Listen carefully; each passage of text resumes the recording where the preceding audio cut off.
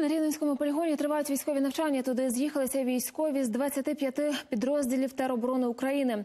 Вправляються у стрільбі, а також вчаться відбувати атаки диверсантів. На тренуванні побували і наші кореспонденти.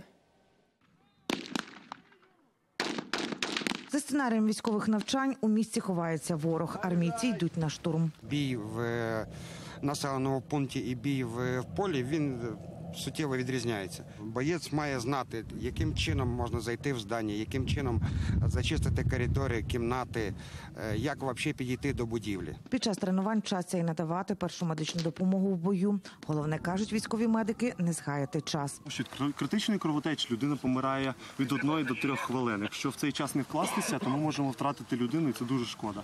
А це елементарна, е, елементарна маніпуляція накласти той самий турнікет на кінцівку травмованого. На навчання з'їхалися і професійні військові запасу, і ті, хто ніколи раніше не тримав зброї в руках. Геннадій Дерев'янчук із Вараша в цивільному житті підприємець у складі тероборони відновлює військові навички. Раніше, якщо ми стріляли і влучання були дуже рідкі, то зараз е, хлопці майже кладуть всі мішені. Той настріл дуже вдає багато, тому що хлопці мають е, постійно підтримувати навики володіння зброєю. Рівненський полігон на три дні став навчальним майданчиком для трьох сотень офіцерів з усієї України.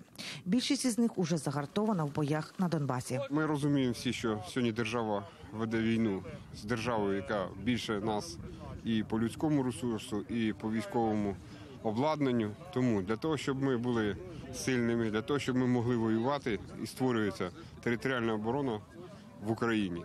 Бригади тероборони сформовані в кожній області України. Територіальна оборона зараз у нас це е, стратегічна дія найбільш важливіша сфері з питань об- оборони оборознації країни. Чому важливіша? Тому що тут залучається крім е, військової складової, ще є цивільний сектор на чолі з керівниками органів місцевого самоврядування. Під час таких тренувань офіцери та резервісти відточують навички, які знадобляться у реальному бою. Сніжана Струк, Микола Василюк, подробиці телеканал Інтер, Рівненська область.